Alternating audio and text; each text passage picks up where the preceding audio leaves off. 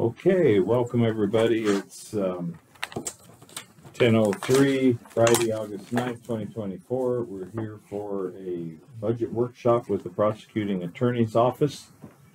Uh, our, our goal would be to walk through the, the budget line by line and just answer any questions or ask any questions or from the commission, from yourselves, from the clerk, and just try to make sure we're all on, on one page. We're not trying to make any major changes or anything today, but we want to make sure that we have all questions answered.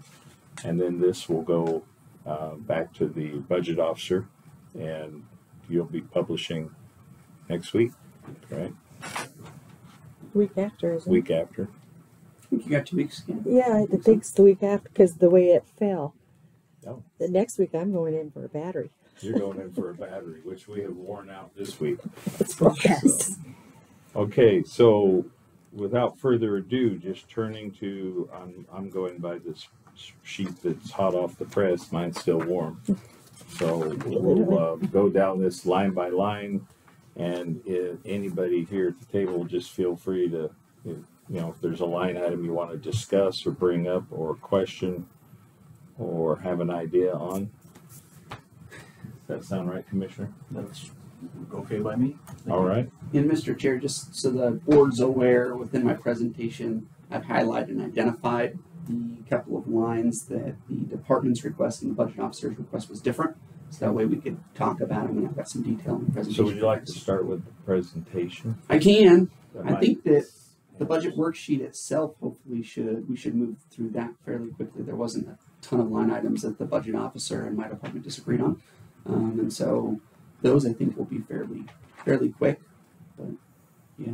You wanna just run through the budget first and then we'll, We can do, we can do either way, your, your preference. whatever you want. It's your guys' show. I just put together the presentation every year to try to help and, and assist. And as you guys know, I usually give a brief summary of what is going on in my office too, because that usually lends itself to some of the discussions about one of the budget's important. I think it'd be helpful to hear the presentation first. Okay. Okay. All All right, right, go I'll ahead. jump in. Uh, so first off, um, as you guys know, one of the things I like doing for purposes of our budget presentation discussions is to actually discuss, you know, what our successes have been in the office and what our struggles have been in the office. And so uh, I'll start us first today looking at some of what I would call our successes. Um, a year in review looking at our highlights. Uh, first, we expanded our internship program again, uh, including a Rule 226 intern that actually relocated to the Silver Valley temporarily for the summer. So, uh, talking about this this mindset of how do we integrate the next generation of working professionals. One of the pieces is trying to make them feel a part of the community. We convinced one to actually relocate this summer.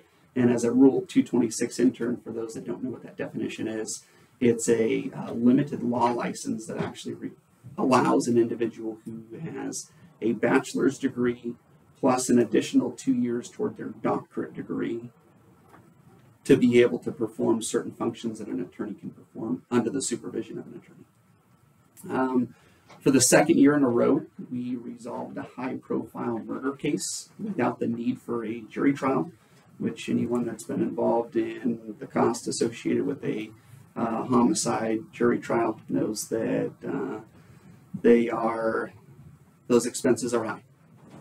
Uh, we obtained scholarship funding to cover the cost associated with multiple employees' trainings this last year. Uh, my chief deputy prosecutor, Ms. Brittany Jacobs, actually wrote that scholarship application. They got approved, and that covered all the cost for two separate employees to do their training this last year.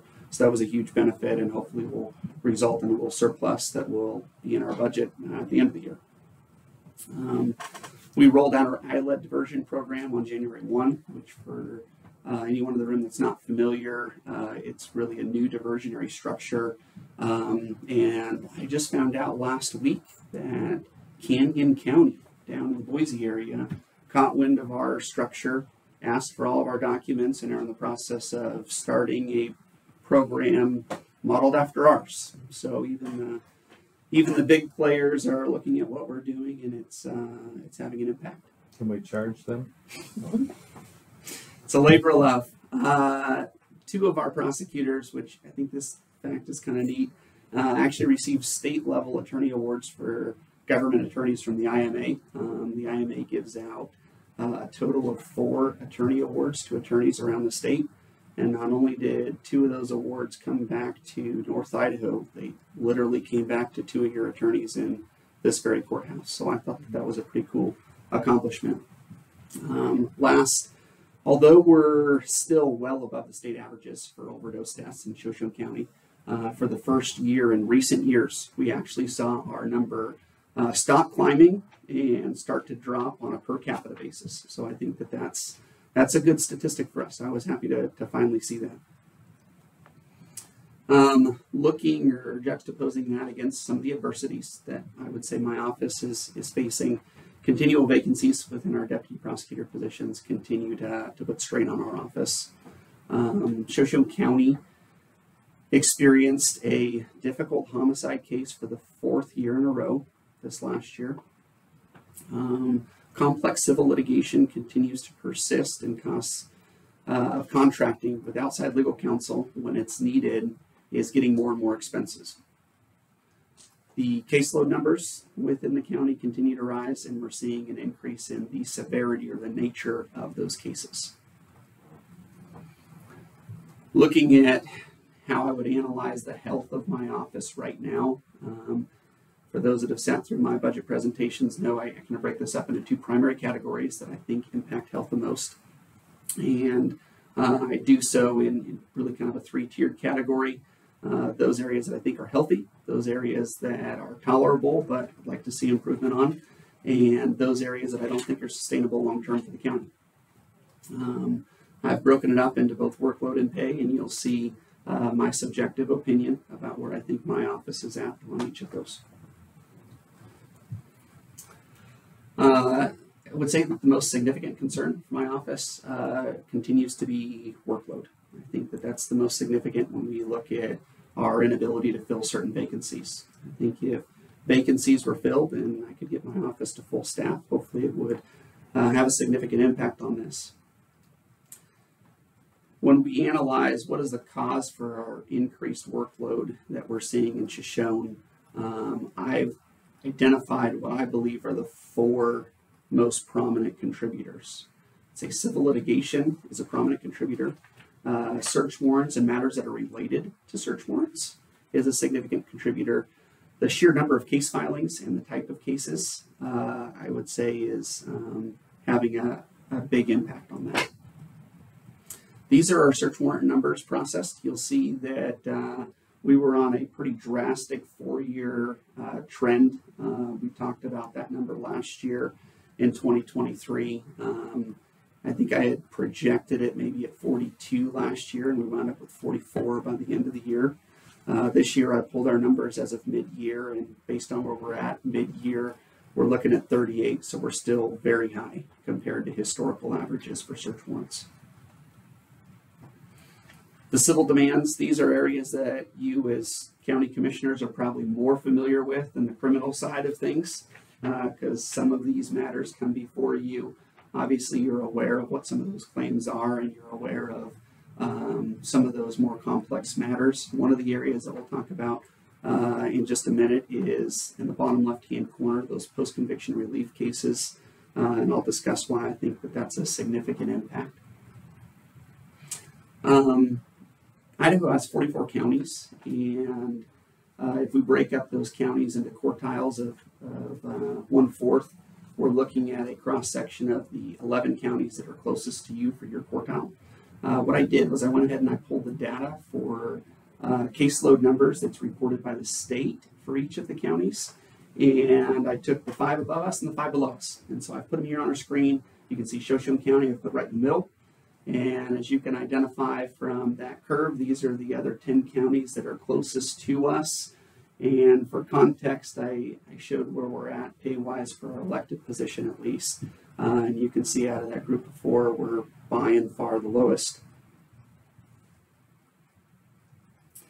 Here's our four-year trend for caseloads. This number uh, is a number that it's kind of difficult for us to run, but essentially we take and we combine all of the uh, felonies, misdemeanors, and infractions and come up with a total cumulative criminal caseload.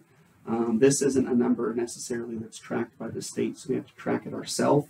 Um, when I say tracked by the state, I'm sure it is in some metric. It's just not readily available to me. And so um, this is our four-year trend using the numbers from the end of last year. And as you can tell, we're, we continue to climb every year. Uh, last year, I think I had projected that I thought our year would end around 2088. And by the end of the year, we had even exceeded that. Um, this piece is interesting, and I'll actually pull it off the screen just for a second to say when I'm out and about in the community and people want to talk to me about, you know, what our criminal caseload numbers are in Shoshone County, uh, and, and I have this conversation with them. Typically, what I get in response is, uh, "Yeah, that's it's going up everywhere. Crime's up everywhere," uh, and that's typically what you hear, right? And uh, this year, for the first time, Idaho released a new data reporting system for the courts that allows you to kind of have access to the entire state's uh, reporting all in one spot. And I pulled those numbers, and I was actually shocked to know that the state averages for criminal caseloads actually going down on a four-year trend. Um, so we're not following the trend. We're we're actually going against the trend. Jeff, Yeah, the, uh, is that two thousand one sixty-seven, are they actual filed court cases? so that is actual filed court cases for misdemeanors and felonies as the state's reporting them. In the, the 2001-67, uh, I, I apologize, I didn't hear the number you referenced. Yeah, the two thousand one So sixty-seven. 2001-67 is the number from us looking at the total case files that were filed. What I've done here uh, on this next slide is I've removed the infractions. So on this next slide, I'm going to show you just the more serious types of cases. So just the misdemeanors and felonies. We take all the traffic stuff out of it. Just the misdemeanors and felonies, we'll see that on our four-year trend, we actually had a slight decrease, even though the total number of cases was continuing to trend up. We had a slight decrease in the numbers that were just misdemeanors and felonies.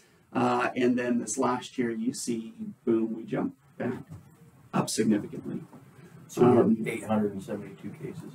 Yeah, so 872 misdemeanors and felonies within the county.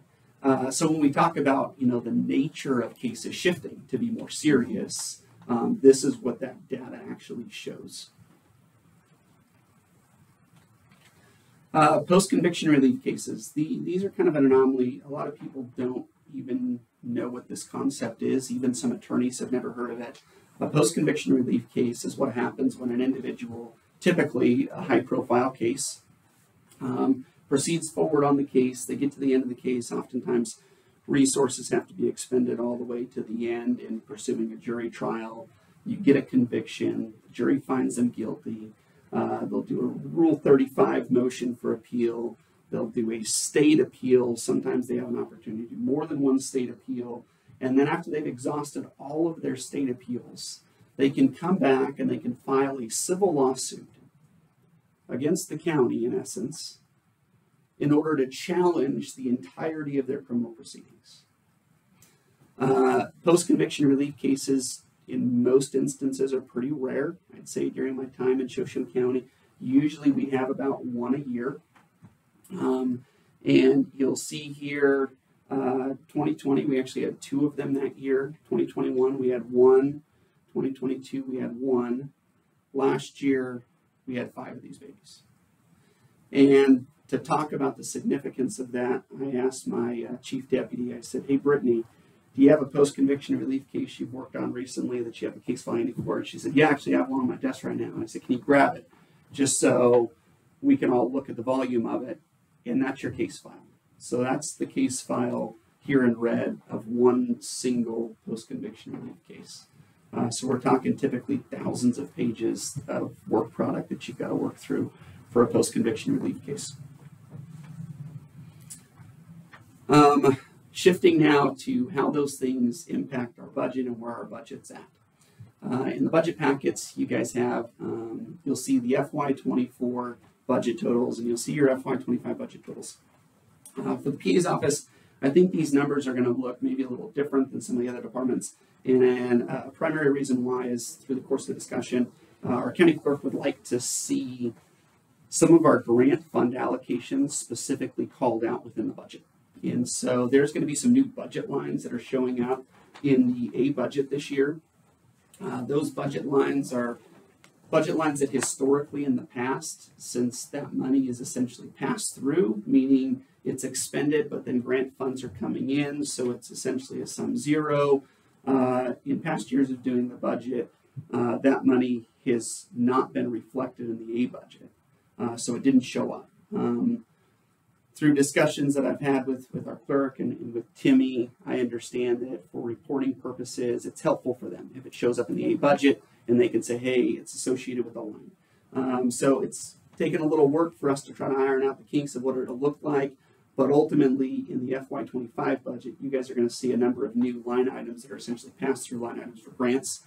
Um, and as a result, you're going to see uh, a good portion of that FY25 budget increase associated with those line items that previously were passed through.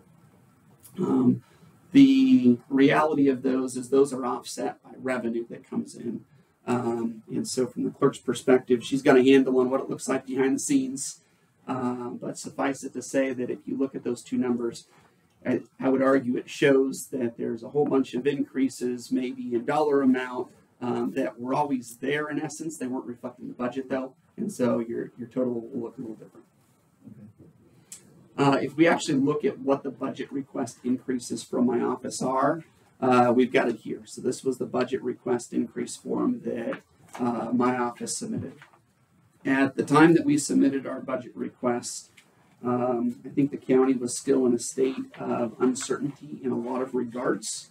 Uh, I know some of the advice that was passed on to the various departments were uh, try to limit your budgets as much as possible until we have a better handle on what the situation or status is of concerns over budget deficits. Um, we were asked to not include a, a COLA initially, and we were asked to essentially not increase anything that wasn't absolutely necessary. Uh, and so our office filled this out at that point in time with those admonishments in mind. I say that because if you were asking me as the budget officer, Ben, what do you think your budget actually needs long term to be sustainable? I would say there are some areas of my budget that if I'm looking for long term sustainability, I would have more increases in. This is really kind of the bare minimum of what I thought would be necessary in light of the concerns, particularly the, the ones early this year.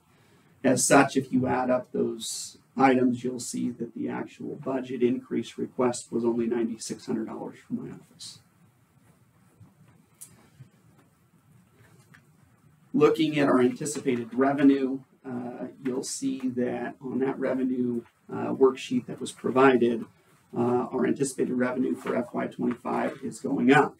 Uh, the significant contributor of that you're going to see in uh, source line 4A, and you'll see that we put in and, and received a request for an increase in our stop grant. That increase was roughly 15% or so. Uh, so it went up $10,000. And so you'll see that increase reflected in stop grant funding that will help offset some of the expenses of my office.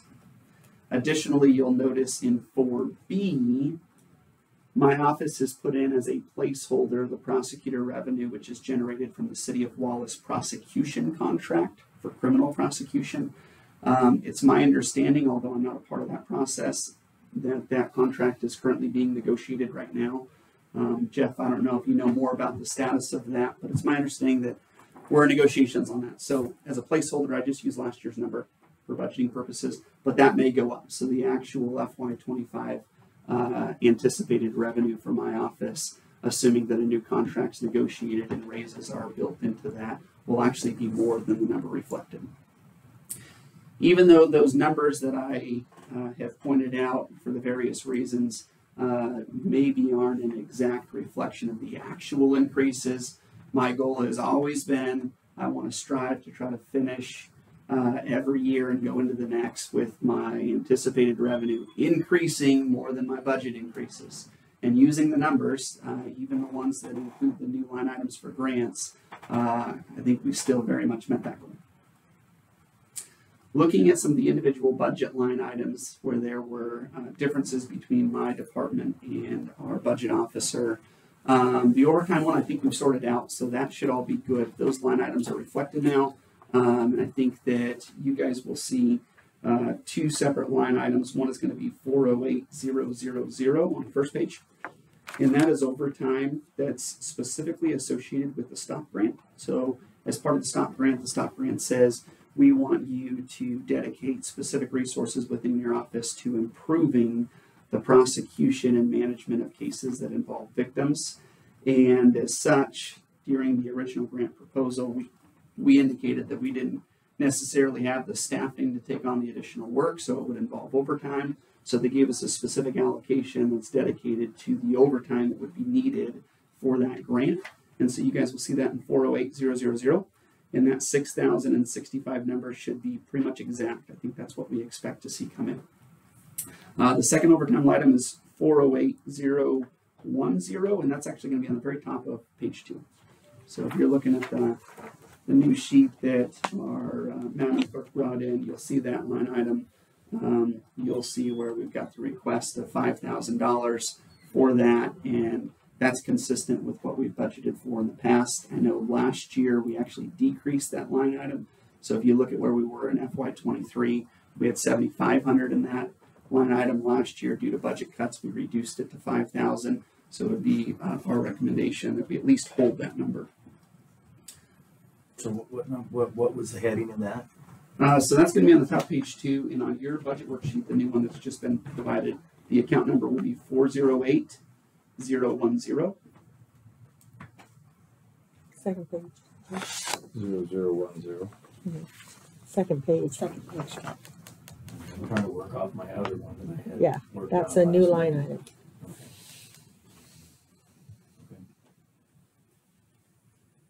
Um, moving on through some of the other uh, components within the budget, uh, line item 439000 for travel. Uh, you'll note that for FY24, my office had budgeted 7000 for travel. Uh, based upon what we're seeing with inflation, what we're seeing with costs, uh, I anticipated that for FY25, I think that number will be around 8000 um, Currently in the budget, we're we're about to take a hit for some travel uh, in the next two weeks. So uh, August is when the IPAA, the Prosecuting Attorneys Association for the state, holds their annual training for the, the prosecutors. Um, and so August, we usually are hit with uh, a bunch of expenses related to travel and to training. And so those numbers will certainly have gone up by the end of the month. Um, my department request uh, reflects that. And I had dropped it because I took the average. So,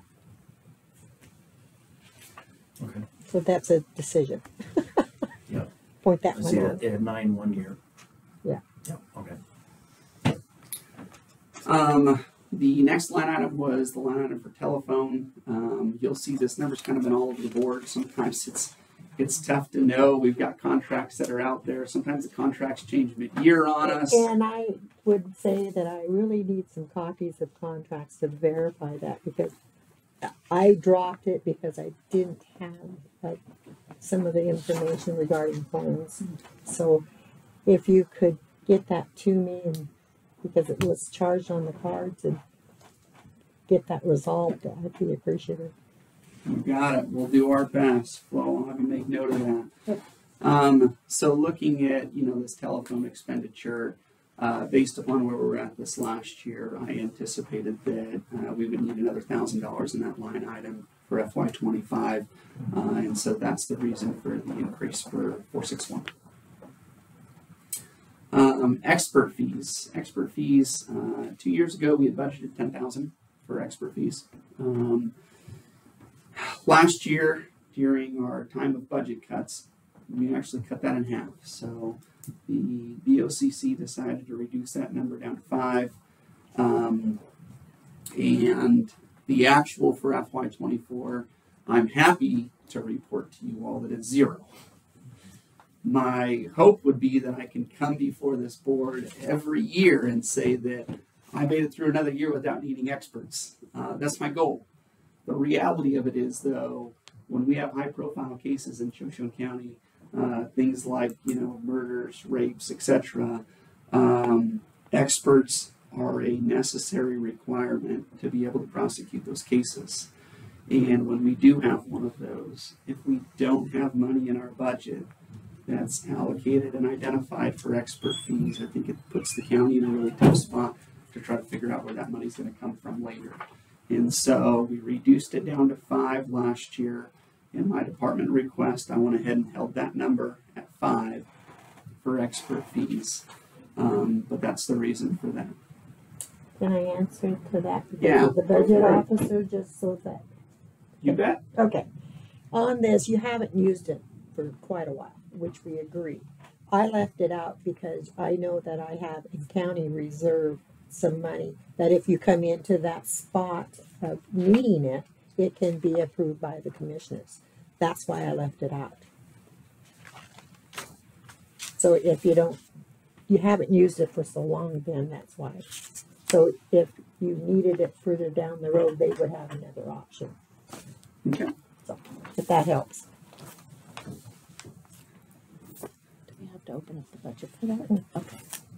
Just, No, just wanted to make sure. it's all inclusive. We wouldn't have to open up the budget. No, That's what I just asked you. No. so. no, that, that is in our county general. We have that reserve line item, and you can move it from that, because it's all inclusive in, Okay, because this is in in current expense. expense. And maybe the last piece I'll leave you with here, and you know, Flo might have some better numbers on this as well, but you know, I recall having this conversation with Tammy, you know, back in FY twenty mm-hmm. And I had decided on the ten thousand dollar number, and then uh, you know, last year when we dropped it down to five, one of the one of the realities of this is realistically the cost of experts, the cost associated with experts likely will far exceed this if we actually needed one, right? So if I came to you guys and I needed a forensic expert for a child L and L case that's going to come in and testify, uh, that expert's probably going to cost us between 10 and 20 grand by the time the trial's done. Uh, so this number, in my honest opinion, is fairly low. I know the clerk's provided some context for maybe an alternate option for you. But I would say that if my office actually needed an expert, we'd probably blow through this amount, even the amount I put in there. Um, the training line item. So, uh, training, it's a necessary evil. It's what allows us to stay abreast of what we need in order to do our jobs. Uh, for attorneys, uh, training is not only a priority, but it's a literal requirement. We lose our bar license if we don't do enough training. Uh, and so training is one of those things that my office is always going to have to make sure we're budgeting toward. As I alluded to uh, just a moment ago, uh, our training for prosecuting attorneys um, usually always takes a, a nice little hit in August because that's when our annual summer conference is. And um, when we look at that line item, I approach it every year knowing that I'm usually under budget on it. And from that perspective, I start every year having conversations with my office staff and with my attorneys to say, hey, we're not going to have enough money in our budget to cover all the training we need. So we need to be looking at grants, scholarships, ways to save money, sleep on a friend's couch when you fly out of town, whatever, right? Um, which those of you that know me know I do my absolute best to do just that. Um, the training budget for this year, I thought I would point out something that I think is illustrative of that fact. So right now, if you look at our FY24, and I've got this up on the screen, you'll see we've got 4,500 budgeted. Right now, we're reflecting actual expenditures of 1,500 and some change. What's not reflected in that is the fact that if we had to pay for actual cost of training that my office has incurred so far this year, we would be adding on another almost four grand for the two scholarships we wrote and got approved for, which covered almost all the costs. And then the stop grant, which has a component built into the stop grant that we are able to allocate specifically toward training. And so if I'm looking at what is the actual cost of training to my office, it's significantly above the 4,500. In an, any given year, if I'm not successful in being proactive and trying to write for scholarships and things like that, um, we'll either have to leave people out of training or uh, be over budget on this line item. So the 4,500 is kind of me trying to plan for being able to be successful and going out and getting things like scholarships and grants. Uh, witness fees. Um, this is another one of those line items that uh, I think I want to try to end every year showing that we came in way under budget. It's my goal on this. Witness fees are directly associated with contested hearings, um, prelims, jury trials, motions to, to suppress, things like that. Fortunately for us, when our key witnesses are law enforcement officers, we get to keep that all in house, right? If I'm going to have an ISP officer or a county sheriff's officer come testify, they're doing that on their own dime. We usually don't incur much for witness fees related to those components. When we get a case where our witnesses are not county employees or other government employees that do the work on their own dime, uh, this witness fee category can take a huge hit.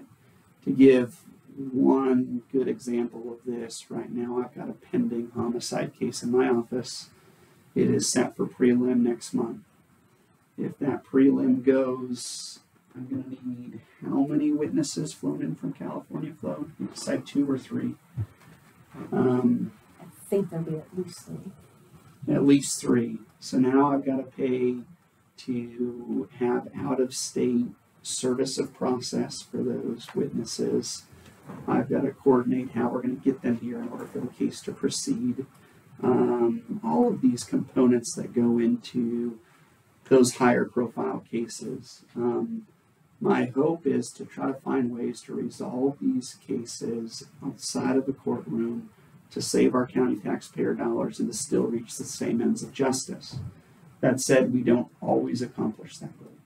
And when we don't, having sufficient allocation in our budget to still proceed forward on a major case instead of, instead of having to go back to a victim or a victim's family and say, hey, sorry, we can't prosecute this case because we don't have the money to prosecute it. Uh, I think that that's an important consideration for us. And um, that's why the, the number's where it's at from my perspective. And now, just, just a quick question on that. Yeah. And when those guys come over from California, you're talking about the travel and, Mhm. uh, hotel and stuff here for, that, that's what that, that cost was incurred? Uh, it, it certainly can be, right? So every case you analyze differently, every case you analyze who's necessary, uh, who's preferred, who's desired, uh, and you run that analysis. Sometimes we send a subpoena to somebody out of state and we tell them, hey, you're required to show up for court on Tuesday, September 9th. Uh, and they get that subpoena and say, I don't have money to get to Idaho, so you won't see me. And then as a prosecutor, we've got to figure out, okay, well, how do we get them to Idaho? um, if they're going to refuse to, to comply. Um, and, you know, fast forward and what that analysis looks like, sometimes we make those decisions in house. In fact, Brittany has a case that she just had a hearing on this week um, where we've got a case that's set for prelim. Her primary and key witness is located right now in the state of Texas. Um, we reached out to the witness. They said, I don't have money to get here from Texas. Brittany filed a motion with the court to try to request that they could appear by Zoom for the hearing to save us the travel costs. Uh, the court said, nope, this is a hearing that uh, ascertaining the credibility of a witness is a primary component, and therefore I want to see them face to face in the courtroom. And so the judge granted us a continuance uh, on the matter. Um, I think she bumped it out. Uh, reset it for prelim and said, I'm going to buy you a couple weeks to figure out how you're going to get them here. And so that's where that case is currently at. And now Brittany's working with Flo to try to figure out what we're going to do with that case. So, uh, computer operations. Um, this is a line item that uh, I think can fluctuate or go up and down based on where we're at in other parts of the budget, based upon um, you know, really depreciation values of, of equipment and things like that. Realistically, you want to be able to keep um, your computer systems within your office up and running. Um, as such, you should be replacing them in regular intervals. Um, sometimes you get to the end of the budget cycle and you realize things are really tight. Maybe you've gone over in other areas and maybe you say, hey, you know what, this computer might be five years old, but it's not going to be able to get replaced this year. Uh, and so you save some money in the budget. Um, some years you get to the end and you go over budget. Uh, so we're taking that into consideration while still trying to account for inflation. Uh, the cost of computer operations continue to go up. The cost that the county pays in um, our employee or subcontractor that comes in and assists with computer operations um, when there's troubleshooting that needs to be done, when there's new software equipment that needs to be installed, um, when you have things. Uh, one of our computers this last year actually got hacked midway through the year. I don't know if you all recall that at all, um, but it got hacked midway through the year, and actually, a Shoshone County uh, server actually shut down the state. In essence, the state said, "Hey, we're stopping all emails from the county of Shoshone right now until they get this figured out." Um, we lost our ability to file things temporarily. We had to call BJ in on an emergency basis to try to fix things like that. There's been some really bad horror stories that have happened recently um, with things like uh, terrorist attacks using cybersecurity. Uh, and so you just never know when those things are going to hit you. So I think that our computer operations take into account the cost of having uh, BJ regularly manage, update, maintain the operations too. And uh, those costs, I, I would argue, are going up with inflation. So, I got a question on that. yeah, Jeff. Now, the computer operations, I don't see any other, any other, uh, categories for anything else. So that computer operations would be purchasing computers, that would also be the software, which, which you, what, software publications and things like that, is that all inclusive into that? Um, Like if, you you see what I'm saying? If you Yeah. have, Yeah, if you use Adobe, you're gonna have to start paying the monthly fee. If you use Microsoft, you're mm-hmm. gonna have to start paying the monthly fee. Does that all go into this? I think most so of we them probably do. should. What Flo and I were just saying, we probably should go in some line items and get it defined and open up so that it can be Yeah. read easily. I think we're gonna have to do that countywide because right now Microsoft is gonna start charging a monthly fee. You're not gonna be able to mm-hmm. buy mm-hmm. the program, so you're gonna be, you're gonna be renting it.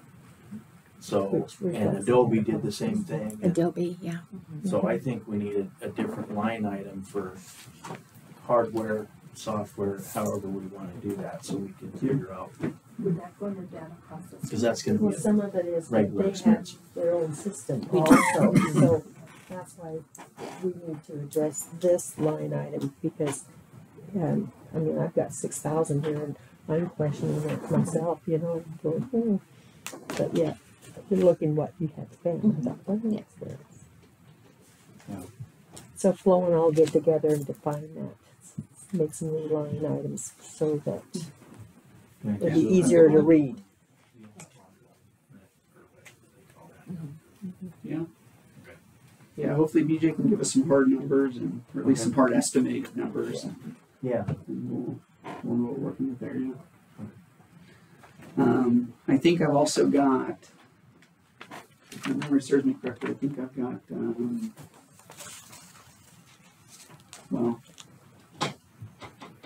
I'll jump to this line. So we've got new equipment and furnishings. Uh, technically, I think that, you know, whether or not the equipment is a computerized piece of equipment or not a computerized piece of equipment may dictate whether it falls into one category or the other. Um, items such as new equipment and furnishing is usually one of those where I have my office staff kind of table their requests throughout the year when it's not absolutely necessary. Like, is your chair leaning to the side three inches or did the legs fall off completely, right? If the legs fell off completely, we go ahead and buy the chair. If the chair's leaning to the side, depending on where we're at in the budget, maybe that's something where I'm saying, hey, make a note, write it down. Let's try to get toward the end of the budget year and see where we're at. Obviously, this is something that's going to need to be replaced, um, but whether or not we can afford to replace it in this budget year or have to, you know, wait until October one to do it, sometimes is a strategic decision that I, you know, make as a department head to try to make sure that my budget always stays under. As such, you'll see on our uh, line item for new equipment, our actual for FY24, uh, nothing's been spent out of it yet. That's my goal. Uh, we certainly do have some items within my office that I think need to be replaced. I know we've got, um, you know, one computer, for instance, and I'm just throwing this out because I'm aware of it, uh, whether or not that falls under the computer operations or it falls under here. Um, you know, we can decide that, but I'm just using that as an example of something that I haven't replaced yet this year. My hope is to wait till the end of the budget year and make sure we're going to be under uh, before we actually pull the trigger on that. Uh, and so that's the reason for that. Um, I did ask for a, a small increase in this line item just based on where I think we're at inflation wise. Uh, certainly, when you know the county's analyzing its budgets, you guys are trying to plan both short term and long term. Uh, and so, long term planning wise, we don't want to get too far behind depreciation schedules or let things degrade too much. Um, so, I would like to have some money in there to use at our disposal when things are, are falling apart or breaking or need replaced otherwise. Uh, that same notion, I think, applies to office equipment. Um, so, once again, to Madam Clerk's earlier point, whether or not we want to start redefining some of these and give them more specific boundaries, I'll defer to the BOCC on that.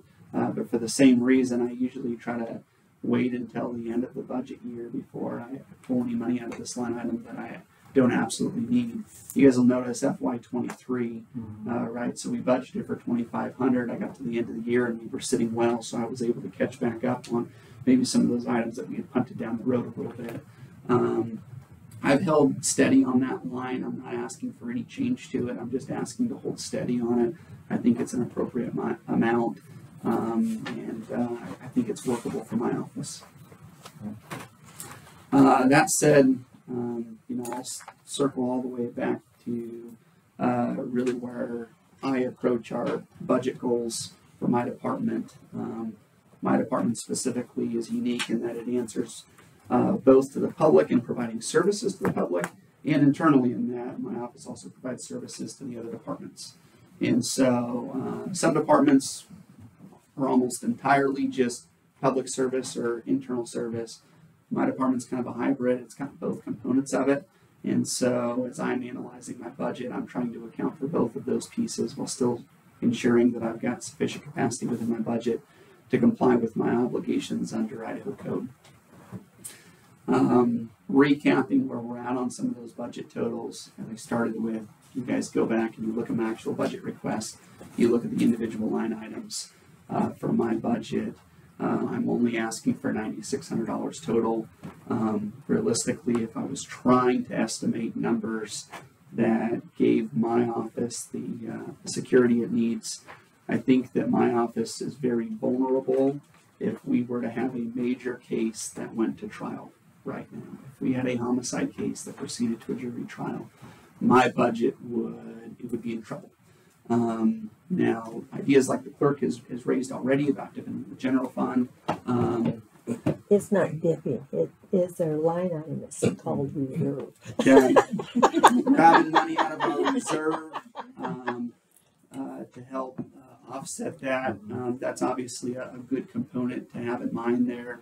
Um, but if, if I'm being candid with the BOCC, I would be remiss if I didn't recognize the fact that one of those cases hit our county, which we've been having one every year, and we've been really fortunate the last two years that we've been able to resolve those with relatively little cost considering um, I, I think that that's something we just have to be aware of as we're analyzing these budgets.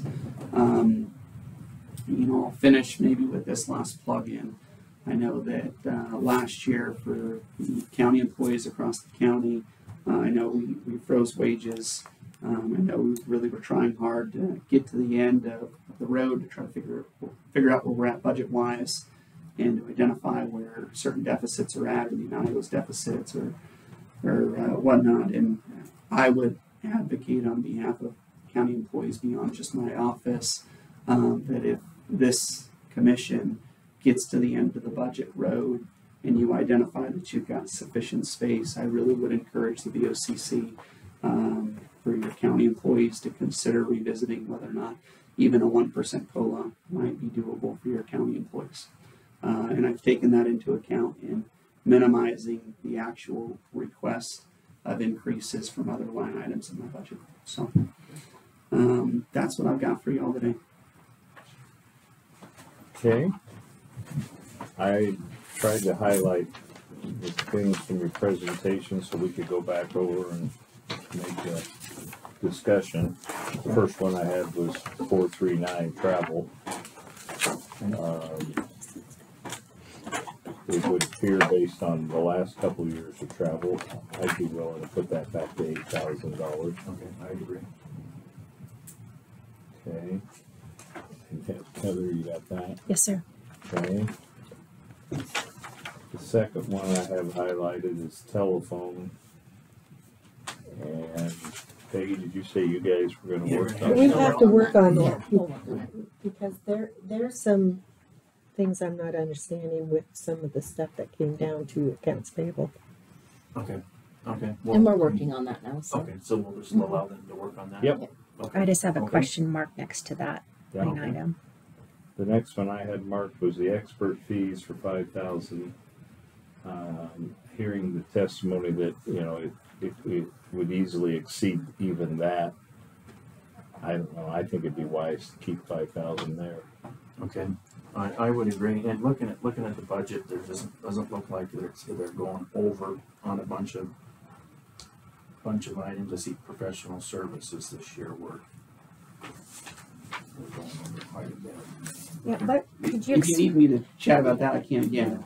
Yeah, Yeah. so our professional services, I- I don't know if you all recall, but uh, early on this year, we had uh, one of our major civil cases, a road validation case. So go where's that coming, is that coming, but, but that's coming from another part, right? Uh, so realistically speaking, as we analyzed it with my office being as understaffed as it Yeah. was, I offered to the BOCC to allow you guys to pay that out of my budget this year. Okay, so we Um, can come out of that, that, uh, third or fourth position is what we kind of, I mean, at the end of the day, it should all more than balance. Uh, that amount should come in underneath that amount of that vacancy that we Okay. haven't been able to fill. okay, Um, and, and I did that understanding that I had had the vacancy for quite some time, even at that point. Yep. So and I knew think I remember be some we, we talked about that, Mhm. but I just wanted to Yeah, Because it, you know, it shows right there, so I just wanted to make sure that that's, I said, that's the only thing, I- and that's the only reason why, but everything else looks like it's, you know, track and find except for that one item, which I know what it is, it's,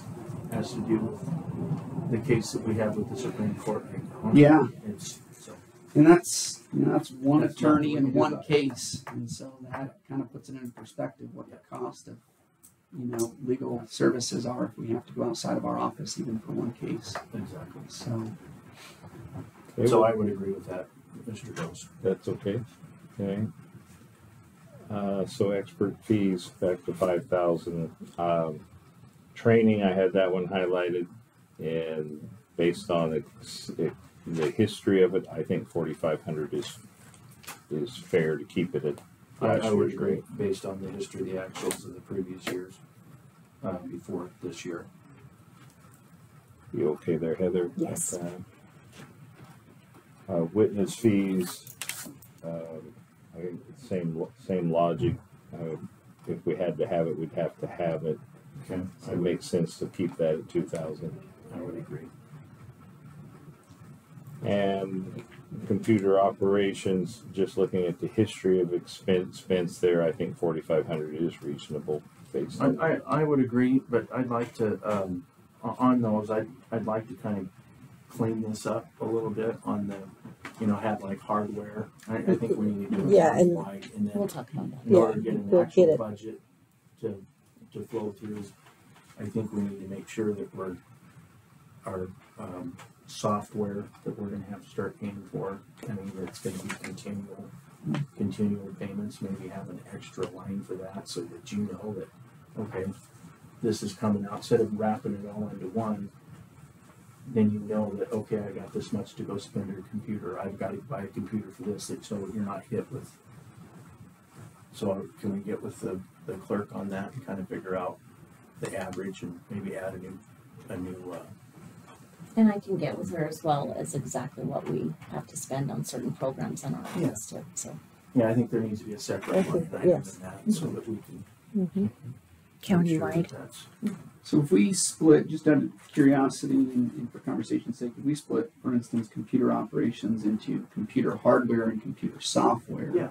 would would that count for? I believe that would be Yeah, great. I think that's a better cleaning it up. Sure. Mm-hmm. Okay. Because we're gonna have, mm-hmm. So then out of the proposed forty-five hundred, Flo and I can work mm-hmm. On figuring out how much of that we think should be allocated for software and how much for hardware. Mhm. Do we also wanna add an- a line item for, um, like BJ? yeah, I would do that. Maybe Oh, three yeah. different I would ones. do that as well, so that you have Hardware consumer software consulting, services. or something like that, consulting, Okay. so that we can keep track of that better too. Uh, the next one I had highlighted was new equipment and furnishings. Uh, I understood the prosecutor's logic. The history shows a little less. I'd be, I'd be okay with putting seven fifty or something in there, but. uh, Okay. What do you I, I would agree with the same. So seven fifty on new equipment and furnishings. And then the last one I had marked from the discussion was office equipment on the next page. Um, it looks like historically we do spend that. Uh, I, I'd say there's no request for an increase. I would, I would be okay with the twenty-five hundred. Okay, and that, maybe we can define the office equipment a little bit, a little bit more with maybe, um, when you go through and do the computers and, and things. I think that's where the computers should come out of, is office equipment, but that is my feeling, but I can discuss that with Ben and Becky as well. Yeah, so we can wrap that into hardware Yep. and then software and then computer consultant, something like that. And then your equipment would be like chairs or Mm-hmm. or Yeah, batting office machines furnishings, or you can say office furnishings Furnishings and stuff. instead of, um, just a, So are we taking then perhaps the new equipment line, which is eight hundred, and combining it with the office equipment line, which is eight oh six? Would that be the contemplation? Is to just merge those and then we would pull out computers and put them in computer hardware? or op, how, how would we wanna do that? Cause office equipment's the same thing. Right. If you look at office equipment. well, let me go that through would the be- other line items off of other departments to see where there's, so that we get it consistent because it's, I don't think we've been consistent. I don't think any of the, this has been consistent and I'm not, would you know, I would suggest I kinda left it the way they were, but operations it- the the, these definitions are not Yeah. been So it would be consistent. Technically. And eight hundred Yeah. should just maybe be furnishings. Huh? Maybe eight hundred should just be furnishings, Okay, and then new equipment would be like computers. Okay. I don't, yeah, cause you. Yeah, I- We'll get a definition and then put out a memo to everyone what Okay. the definitions are, because, What falls under it? yes, Sounds because I think That it would needs be to be easier. defined a little better for everyone. And I would agree with Dave on that one too, to leave that at twenty-five if it's computers. So then if you get us the new definitions, Peggy, then we'll take those three line items and we'll reallocate them back Sure. to your new definitions then, okay? Yes. we'll work on it. I just think it needs to be defined a little better Yeah. it'll make for, it easier. for the county Mhm. yeah, on a whole. All right, Mr. Prosecutor, did I miss anything? I don't think so. Well, I know that I, I know there was some regarding the in-kind off the stock grant. Yeah. And you're Wanna not jump into that happy, one? yeah, we're, I know you're not happy with that, but I have to explain what I'm doing so that you Sounds good. understand. Because when the grant was originally started here in the county by Keisha, that grant, I, she came over, we agreed, I got administrative costs because it's costing the county itself money to run these grants. It's costing the county's clerk's time, the payroll clerk's time, Carrie's time. And we have, when we're writing grants and doing grants, we have to take that into consideration because it's adding work on, plus it's adding supplies on. That's a big key because you're writing checks, you're doing this, you're doing that. These grants have not been addressed with that type of administrative cost. And that's why I'm charging your office because it's this stop grant is only to your advantage in the whole county, basically. I mean, your department. But yet, other departments are handling that stop grant. So I'm just trying to pick up my supplies in little time I get because it should be a charge to your to your department. I'm not saying anything about the grant match regarding the grant itself, but when that I think that was redone in July, or The grant match, um, it was just recently. just, that- just and see, recently no one even came and asked me about what I think should my charge be regarding that in kind because it's costing this county. That's where I'm coming from. So no one came and asked me even when it was re- redone. So I'm So it- going, The stop grant is renewed every year. yeah, exactly. And, And it so- should, we should come in on every grant that we have because the, the, you guys are running a lot of grants. But to this county, it's costing the county more time, more supplies, and it's just coming out of everyone else's budgets. So my question would be like, when I ask you how many hours you would put into the stop grant, your hours have decreased, My hours, be- yeah. but would this amount include your hours as match? And then out of those see, I, match, I wasn't even going with a match. I was just trying to basically get my supplies back for Carrie and myself. And, but I, that's how I matched it, was took a match off of your grant. You know, just that one quarter, I think it was. Um, Because we're losing money off of this, Ben. These grants, we're losing money, the county is. Because we're, we're not getting any administrative costs or any supplies or any time.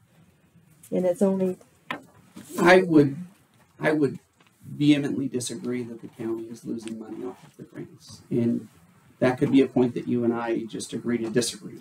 I look at the amount of money that's brought in from a grant and the services that are provided to the county constituents because of the grant. And I would say it's a huge net benefit. If there are incidental costs in administering the grant, I think providing us with a detailed itemized schedule of where those costs are incurred will enable our office to account for that component. It's my understanding that currently much of the administrative components of the stop grant is actually being performed by Flo right now.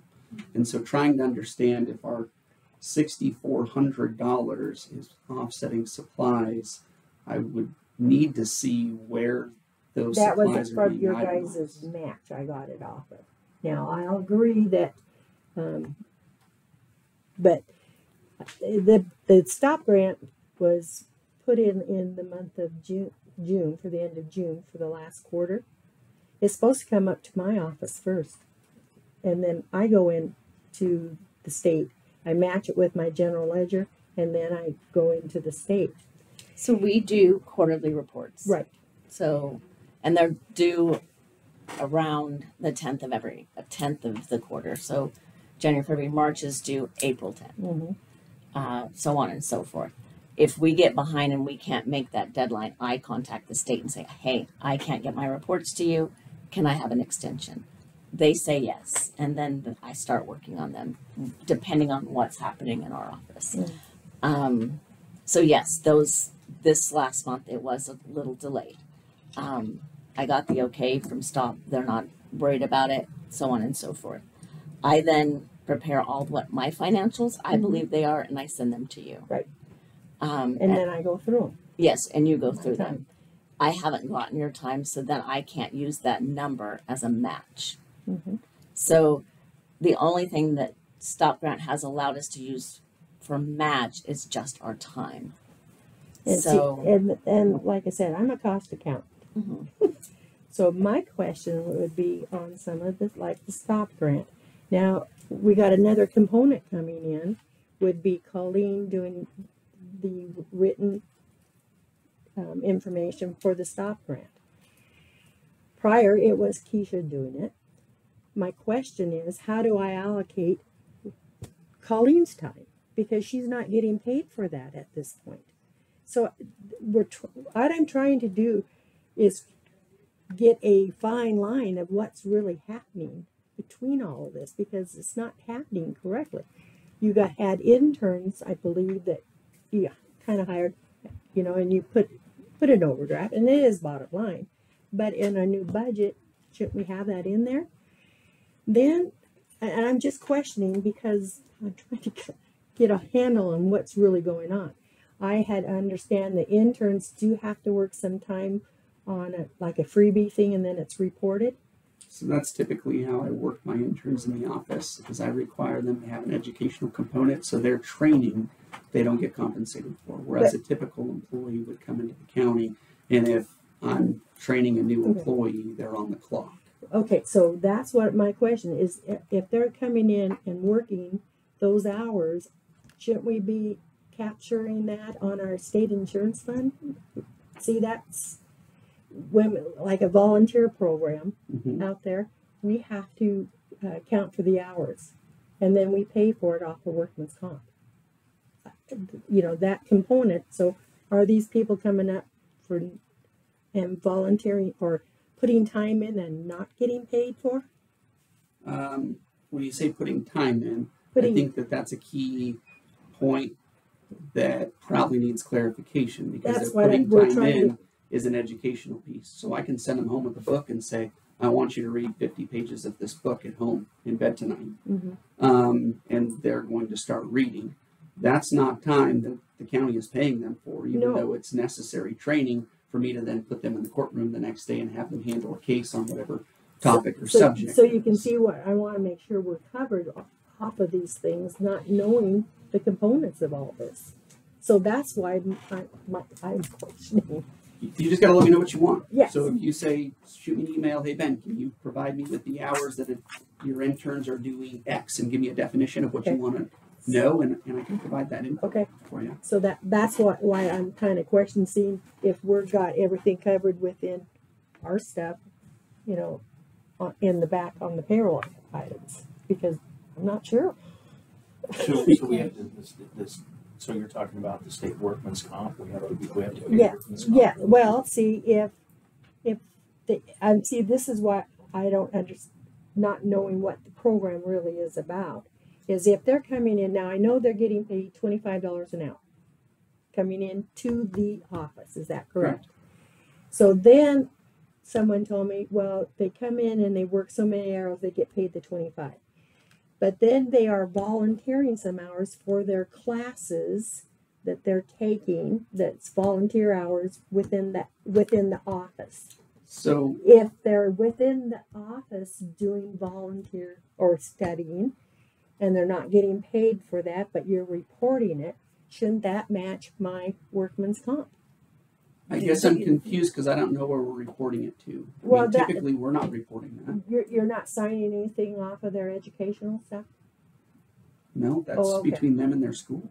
Okay. Well see uh, when you said interns, I'm not sure how your hmm. program's working because on an intern I think office you're talking about an intern and an extern, and they're very different things. We don't have any externs right now. Okay.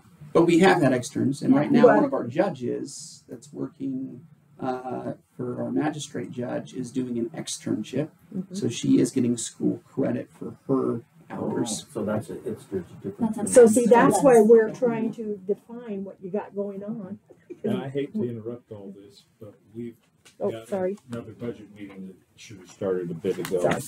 Um, So, Mr. Chair, I think probably the last item then that we are on, and I don't know if we've got any resolve for it or what the BOCC wants to do with it, but it's gonna be four thirty 13 And that's the stop grant expense in kind, which is reflected as an expense on the prosecutor's budget. So I don't know what you guys wanna do with that. Obviously, you've heard input from the clerk, you've heard input from my office. Um, There's some disagreement as to that component, and I don't know how we work through it, so. I'd like to, I would like to, uh, have more information on that before we, before we make the final decision, so we can do that later. I mean, what, yeah. I'd What like to- information do you need? Huh? What information do you need? Um, to, to be able to see what, what she's talking about is uh, an expense. I don't understand what, it's an expense to his office because the, the stop grants is benefiting his office entirely throughout the county. The sixty-four hundred would come back into an income into county general, which can be dispersed between all the other offices that are handling the stop grant. But does, does, will the stop grant even allow that? That's, that's the whole thing. It's got nothing to do with the stop grant, it's It got. doesn't sound like it's being billed out to the stop grant. It's just being billed out to my office's budget. For managing the stop grant. For manage, the component. which would be different than a scenario where perhaps a grant Is paying for it. was That's what- paying for admin. That's what I So was it's a wondering, if the different grant's scenario. paying for the admin, then that, that's what I would say, it would be all right, the grant's paying for the admin, but but the taxpayers to pay for the admin. So what would be your suggestion?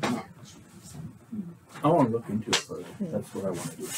You wanna put it on the next week Yes, agenda? put it on the food agenda, Okay, cause I wanna understand more, I don't wanna miss it. so Cause I, that was one of the questions, was the grant paying for it, is this, add it to my. so, but we're out of time Yeah. with, Want to put it in with that, this now. you could put it I've in got that, the same want question to put it in that time block that we have for Yeah. Tuesday? Exactly what supplies or costs are associated with getting it better. Let's see. So we will pick it back up next, next week. Yeah. Okay, so we gave you some answers today, so we're, Yeah. we're game. All right, I'm sorry to have to end this, but we're cutting into the public works budget time. And I have to run upstairs and get. We're adjourned? Thank Yeah, you for so coming down. we're adjourned. You bet.